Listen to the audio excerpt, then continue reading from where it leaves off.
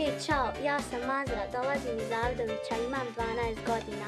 Najdraži čas u školi mi je biologija. Članica sam udruženja građana HAR. Želim da zamolim sve odrasle ljude da spričaju nasilje i mržnju na internetu.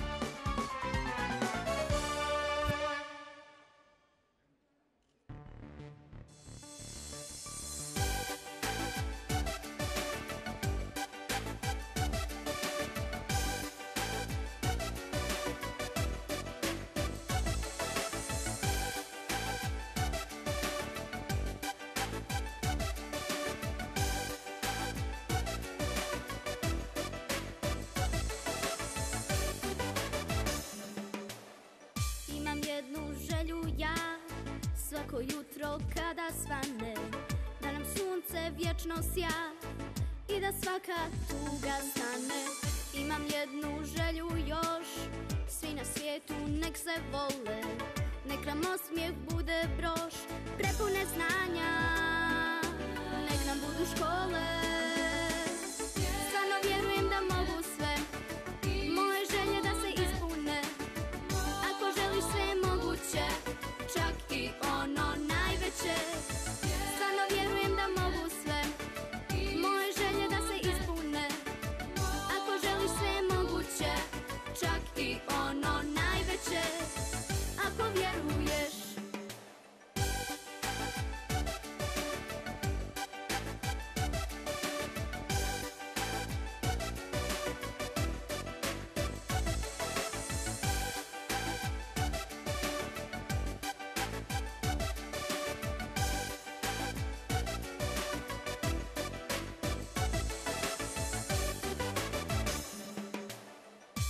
jednu želju ja.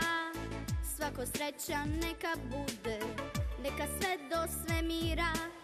Raste ljubav za sve ljude. Imam jednu želju još Svi na svijetu nek se vole.